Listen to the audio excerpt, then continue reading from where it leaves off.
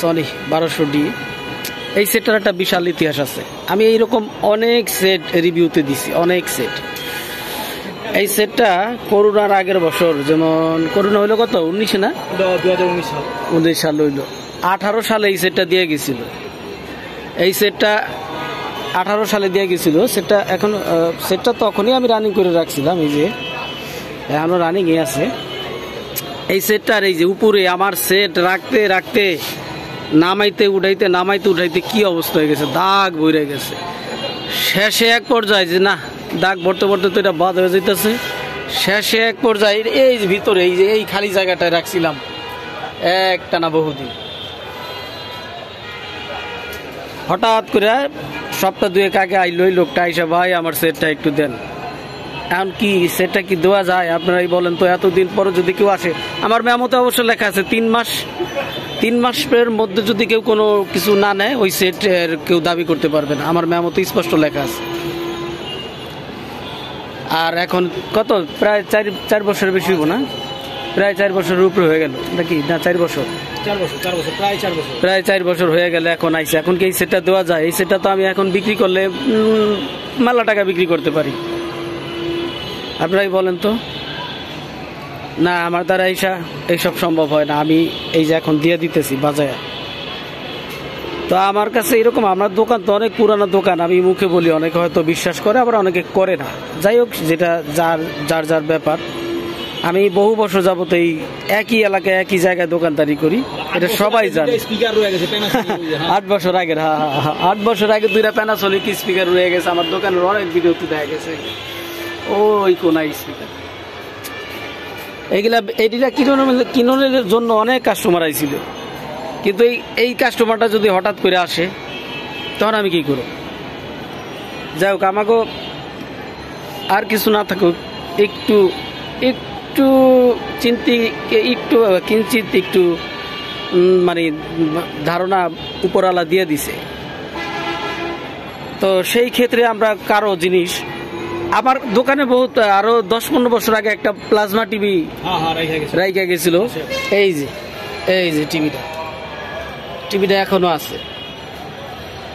দশ পনেরো বছর আগে। এই এই এই লোকটারও আমি বহুবার খবর দিছিলাম। নাই নিয়ে নাই নাই। কিন্তু আমি যে রেখে দিছি যদি কোনো সময় আসে। তা আমরা কাজ করি আবার সবার সাথে ওই রকম আন্তরিকতা বজায় রাখার চেষ্টা করি। অন করলাম। সাউন্ডটা কমাই দিই যেহেতু এখন মাগরিবের আজান দিছে। তো আমরা মনে করেন যে আমাদের ঠিকানাটা একেবারেই সোজা। এই যে আমি দেখাই, জিরো পয়েন্ট। আমার দোকান থেকে ভিডিওটা করে, আমার দোকানের ভিতর থেকে। এই যে জিরো পয়েন্ট। এই যে এক নাম্বার গেট। এক নাম্বার গেট। এদিক চাইছে আমার ম্যাক্সিমাম টাইম ফোন দিলেই হয়। কারণ আমার মার্কেটে যদি কেউ দোকানে নিয়ে আসে, নিচে থেকে যে ভাই, অমুক দোকানে যাব, তমুক দোকানে যাব। আসে পরে তারা আর কি একটা হাড্ডি দাবি করে বসে। তো যাই হোক, আপনারা সরাসরি আমার ফোন দিয়ে আইসেন। এই ঝামেলা আর করবেন না। এই যে বাইতুমোকারাম মসজিদ, আমার দোকান থেকে আর কি দেখা যায় এই ঠিকানা আমার এত শর্টকাট ঠিকানা আপনার আর কি আর কি দেবে? যাতে ভুল না করে, অনেক আছে ভুল করে ভুল করে, অনেকে ভুল করে। একটু বাইরে বাইরে হলাম ভুল করার কিছুই নাই। বন্ধন কাউন্টার উৎসব কাউন্টার ওই যে উৎসবের গাড়ি দেখা যায়। এর আর সোজা ঠিকানা আর কি আছে? এই দিক থেকে এসে সরাসরি ওয়ালে আবার আমার দোকানে একটা ই দেওয়া আমার দোকানের লোগো একশো বিয়াল্লিশ বাই সি আমাদের এখানে একশো বিয়াল্লিশ দোকান আমারটা সহ আর দুইটা আছে। আমারটা হলো সি। একশো বিয়াল্লিশ বাই সি। তা একটু চিংগামসে চাঙ্গুসে বাস না ইয়া পসিবল গানটা একটু এই এই ডায়লগটা একটু শোনাবো এটা তো আবার অন্য কার্টুন ভাইয়া মিউটটা একটু সারান তো। টিভিটা মিউট হয়ে ওই যে হ্যাঁ হ্যাঁ ঠিক আছে। এই গাড়িটা আমার বর্ষার চাঁদের মতো হাওয়া হয়ে গেল কীভাবে?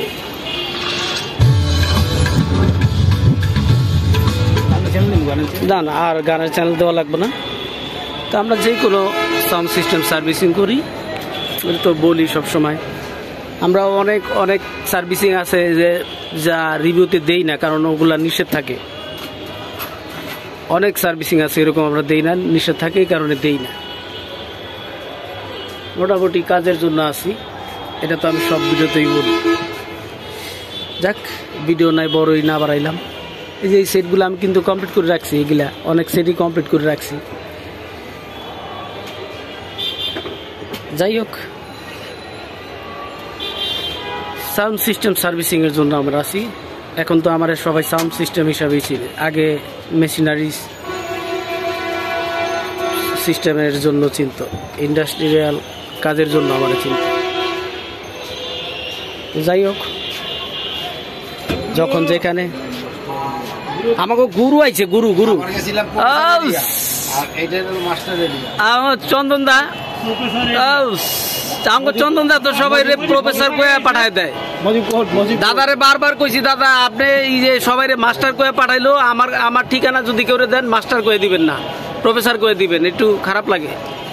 এদিক তাকান না দাদা ভিডিও চলতেছে লাইভ এটা আমি ইউটিউবে ছাড়ুম কাজ জানে। খুব একটা তো এই যে এইটার এত পুরনোর কথা বলার উদ্দেশ্যই যে অনেকের একটা ভুল ধারণা থাকে যে স্টেডিয়ামের মধ্যে নাকি সেট খুলে রাইখা দেয়। কে কি করে সেটা তো আমি জানি না তবে আমি বহুদিন যাবত প্রায় বহু বছর আমার অনেক ভিডিওতে বলছি বহু বছর যাবত একই জায়গায় একই এলাকায় বহু বছর। আমার যদি কোনো ব্যাড রেকর্ড থাকতো তাহলে আমি এতদিন টিকতাম না। বরং আমার দোকান থেকে অনেক পোলাপাইন বাইরেছে অনেক যা বলার বাইরে। অনেকে তো মানে টপার টপার ইউটিউবার। মানে ওর সামনে থাকা টিকা বড় দায়। তো যাই হোক যাই হোক এত মানে কি বলে, যদি আমরা কোনো আমাকে ভিতরে যদি কোনো দুই নাম্বারই থাকতো, আমরা এত দিন টিকতে পারতাম না। লং টাইম একটানা ব্যবসা করতেছি। তো যাই হোক, যেই কোনো সাউন্ড সিস্টেমের জন্য আমরা আছি, আমার সাথে যোগাযোগ করতে পারেন, একশো বিয়াল্লিশ মে বি ইলেকট্রনিক্স আমার কাছে জিনিস দেওয়া মানে আপনার ঘরে থাকা একই জিনিস।